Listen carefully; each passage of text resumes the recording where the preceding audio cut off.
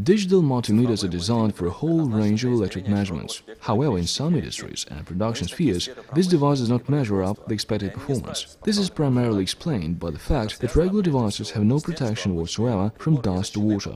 We could of course wrap a plastic bag around the device, and yes, it will still operate rather well. But this is not exactly what the users in such industries are looking for.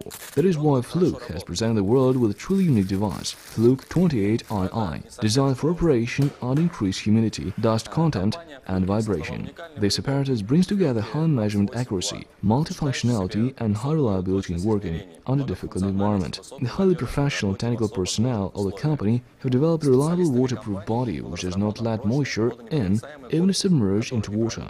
Even a 3 meter fall down to concrete floor will not be able to stop the device. It is also very important that the multimeter works in wide range of temperatures, from 15 degrees Celsius below zero to 55 above. The device can also easily survive a fall into the snow.